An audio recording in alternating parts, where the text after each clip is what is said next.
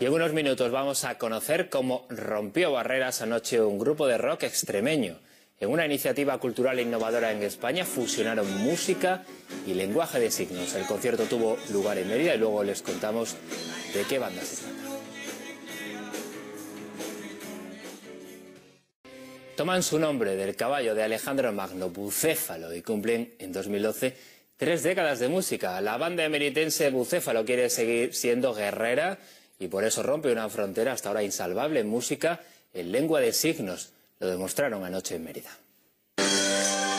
La banda emeritense Bucéfalo dio anoche un paso más en su intento de acercar el rock a todo el mundo. En un concierto pionero ofrecido en el pub La Nueva Taona de Mérida, cinco de sus temas en castúo se interpretaron también en lengua de signos.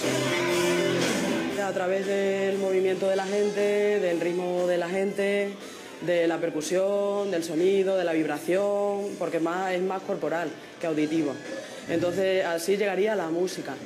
Eh, lo que es la letra en sí, por eso es el intérprete.